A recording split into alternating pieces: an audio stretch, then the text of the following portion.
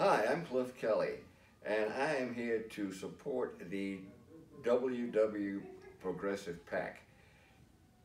All politics is based on how much money you can raise so you can get your word out. You may have a great progressive idea, but if you don't have the money to let people know about it, well then folks won't know, and that's why in many instances we have such a low turnout.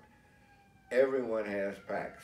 This is a good one, a great one for our community and for all progressives, not just the African American community. We have a lot of people in all communities who are progressives, and this is the PAC that they should be involved with. So support this. We need your support, so sign up today.